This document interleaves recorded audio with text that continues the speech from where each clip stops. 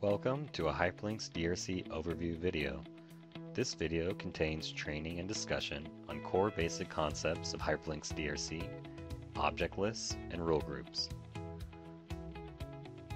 Once you import your PCB layout data, you're ready to start analyzing the design for violations with HyperLynx DRC. It should be noted that HyperLynx DRC is not limited to accepting PCB layout data from only a Mentor flow.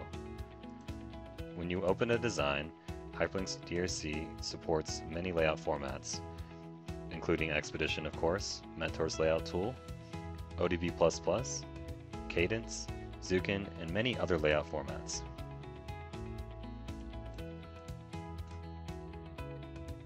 HyperLynx DRC fits into any design flow and can be used at any stage of a design cycle to perform electrical rule checking sign-off. These checks are automatic and can be executed by any PCB user, regardless of their signal integrity, power integrity, or EMI expertise. In order to get accurate results and not find any false violations, HyperLynx DRC targets specific groupings of nets with what is called an object list. In the previous video, we talked about system-generated object lists, which can be found under, under the Analysis setup in the Project Explorer window. The system-generated object lists are the components and electrical and physical net data, like capacitors, resistors, and all the electrical nets. These are preloaded upon import of the layout data from all the layout systems we talked about. The user object lists some are preloaded as well, and some are custom created by the user. The preloaded ones come with what information is contained in the layout data and are pre-populated, such as power nets, constant nets, analog nets, radiation, high, medium, and low nets, and so on.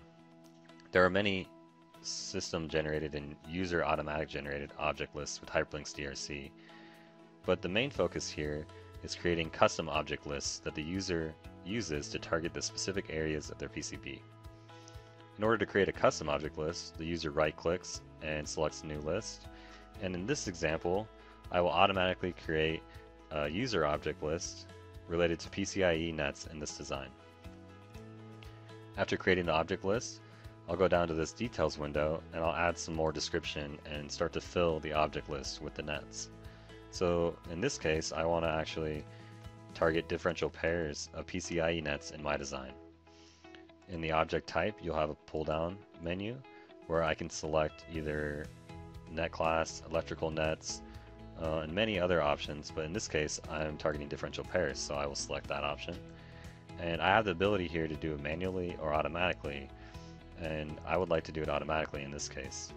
So once you've set all this criteria, the user can then click and select conditions to automatically fill this object list.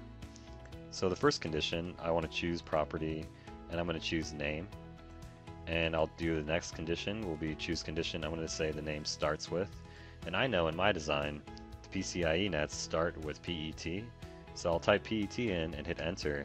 And you can see now that there's a plus sign here next to the object list because differential pairs have been added as well as I want to I know that there are other PCIe nets in my design so I will do the exact same thing and I know that they start with uh, PCI and so when I hit enter again you can see this list grows so now I have a user generated object list of all the PCIe nets in my design. Once as long as you know your naming scheme which you should for your own PCB design you can fill automatically and create these object lists to target those specific areas of your design. Notice that I've already created object lists uh, for DDR DQ lines, DQS lines, uh, DDR differential pairs, DDR single-ended nets, and lots of other user-created object lists for all the DRCs for related to this PCB database. Now that we have that object list populated and we are targeting that specific grouping of nets, let's expand the rules and results and look at the rules here that we have created. When you open HyperLynx DRC for the first time, you will have the three generic categories for EMI, PI, and SI, and they will be pre-populated with your DRCs. Remember that the DRCs are context sensitive, so if you click on one and look at the spreadsheet, you can actually get information about what that DRC checks what it does, what the prerequisites are for that DRC, for the imported layout data in order to run properly, and where you want to run that DRC, you can actually edit the parameters of that DRC here in the main window as well. So the first thing we wanted to do with HyperLynx DRC is create the object lists and customize them. The second one-time setup that we have to do, or should do, is create rule groups in order to organize our out-of-the-box DRCs. Here you can see that I've created many rule groups, and this will be user specific, so you may have as little or many as you want. To create a new rule group, you right click and you can hit new group under the rules folder, and in this case I'll create a DDR example. This DDR example um, I will populate with DDR focused DRCs so that I can rule group them by their category for DDR in this case. Uh, one DRC that I want in there will be the T-fork topology DDR2 check. So I'll right click and copy it. And then actually it's as simple as right click and copy and paste and you can see I now have the T-fork topology in my DDR example rule group. Some other DDR examples here, I want to check differential impedance, and I also want to check the flyby topology. You can use Control or Shift Select to copy multiple ones at one time and copy and paste them. Uh, I think this is enough for an example. So for the DDR example, we have our rule group with our DDR-focused DRCs. Um, so the next thing we want to do is use an object list to target that specific portion of the DRs of the PCB. Note that with um, the out-of-the-box DRCs, when you select a DRC, um, and if you look in the properties window, it is by default applied to the entire design. If you select that window, you can actually choose to target an object list instead of the entire design, which you should do in many cases for your DRCs. Some, some DRCs make sense to run on the whole design, and uh, I actually have created a rule group folder for the ones that do make sense to run on the entire design. So for instance, this metal island DRC checks for all isolated copper in the design. So I want to check the entire design for that DRC. Um, I also want to find all decoupling capacitors in my design, so that makes sense to run on the whole board in some cases. But some DRCs, like for instance in our new DDR rule group, they don't make sense to run on the entire design. They should be focused to a specific targeted group of nets. For the T-fork topology rule, this actually checks all branches of a DDR2 routed T-fork topology. So in this case, I want to be targeting DDR2 routes only. So I want to change the apply to from whole design to object list. And I actually want to target a specific grouping of nets, um, DDR2 object list.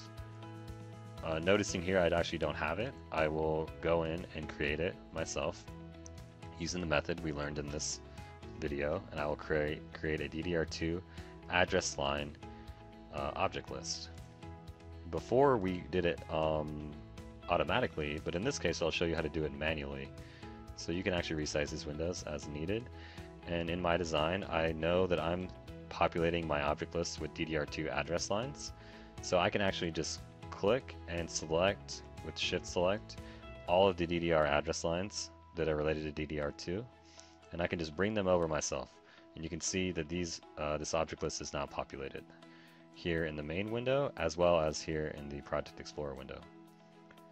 So now that I've populated my object list, and it was as simple as creating it in a matter of seconds, um, and note that once it's created, it's there forever, and you can reuse these project set settings and these object lists to any PCB that you have. So now I want to click on that T-fork topology rule again, and I want to actually target that DDR2 address uh, lines for the DDR2 topology. And now I'm ready to run my rules. So HyperLynx DRC focuses a targeted group of nets with object lists and organizes them with rule groups. It's as simple as right-clicking execute or clicking on a folder and hitting run to execute the rules, or you can execute rules on selected object lists here. So you can run in batch mode, uh, or you can just right click and execute one DRC at a time. The main reason for this organization, although can you can get pretty lengthy here and maybe get some clutter, depends on the user, on how they want to organize it. I've created almost all possible cases here, you know, for any PCB design. You can create this in any way you want. You can choose to have DDR differential pairs, DDR single ends, you can do SerDes, PCIe, whatever it is. You can do, actually separate these as much as you want or as little as you want.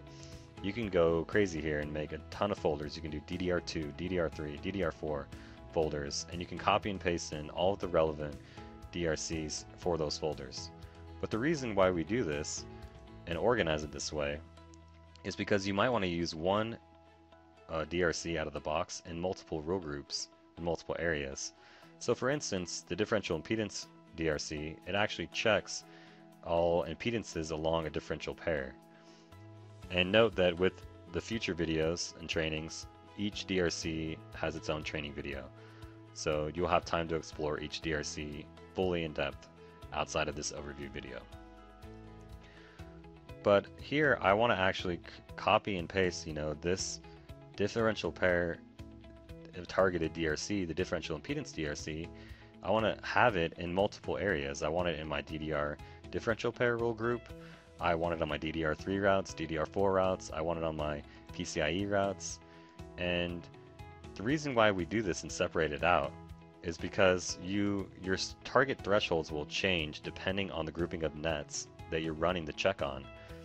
So you don't want any false violations, right? You want to run your differential impedance check on DDR differential pairs, and they may have a target impedance of 100 ohms, and they may have a minimum length requirement, and they have a max total length requirement, and they have a lot of requirements that come from the DDR spec in which you follow from the vendor for your routing.